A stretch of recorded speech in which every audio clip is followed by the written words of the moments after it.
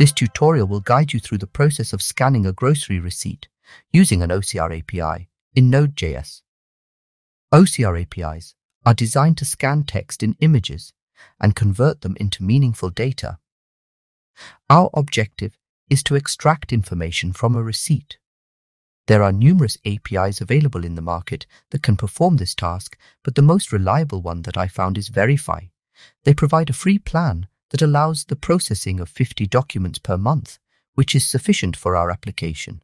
Let's create an account with Veryfi, making sure to select the OCR API and fill in all the necessary details. When prompted with a warning, select Yes, since we want to use the OCR API to develop our application. The Receipts API is the most relevant API among all the available options. To access it, navigate to the API docs in the sidebar, select Invoices and Receipts, and choose the Process a Document option. Your client ID and authorization should be populated automatically. If they are not, go to the Billing section on the left side and activate a free plan.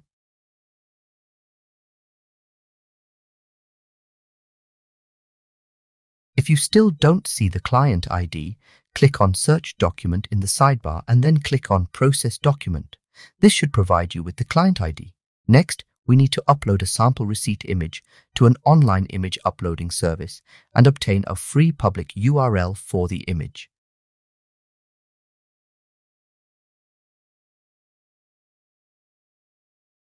Insert the image URL in the appropriate field and click on Send API Request. Once the processing is complete, you can view all the information related to the receipt. To pull and process data, we will need to write some code. In our Node.js application, we can create a new file called OCR receipt.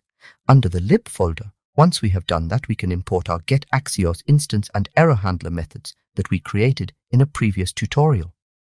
If you need assistance with this step, please refer to the link in the description. Next, we will create our Axios instance by passing the base URL of the API we want to call. We can obtain this information from the website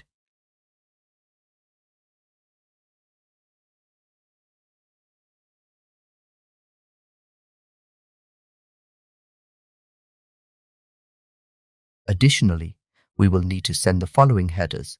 Content type should be application JSON.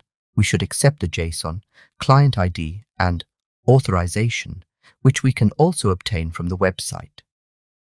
Now we can create a function called process the receipt, which takes the file URL as input and will return a promise. Inside the promise, we will use our Axios instance to call a post API call to documents, passing the file URL as a parameter to ensure that everything is working as expected.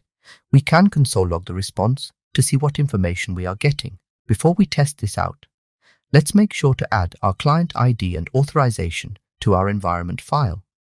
If you need help setting up the environment file, please refer to the first tutorial in this series, link in description.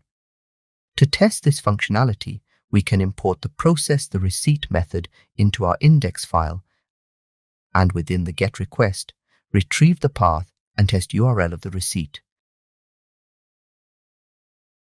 If the path is equal to test, we will call the process the receipt function. For now, we will simply return to success. Now we can debug our code to test it out.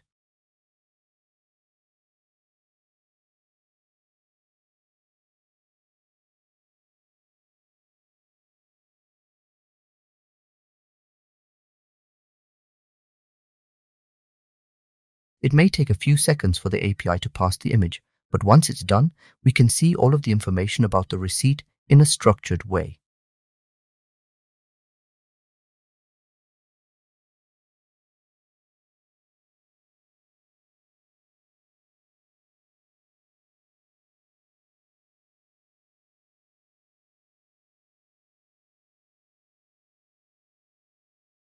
Each line item is an item on the receipt, and we can obtain information such as the item price, quantity, total, and more. However, we may only be interested in certain pieces of information for now. This is where the pass the data function comes in. By passing the response object, this function can extract the information we need, returning an object with the following data points. Bill date, an array of items each with information about the item, payment method, reference number, total cost, vendor information. We can loop through all of the line items and push only the necessary information into our items array.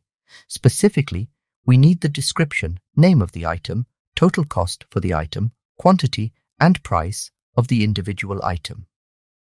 Now, we can hook this method into the process the receipt function and return the process data. We should see all of the information in a structured way, as desired.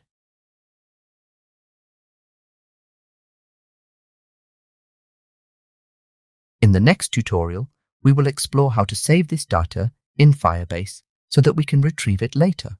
Thank you for watching and we look forward to seeing you in the next tutorial.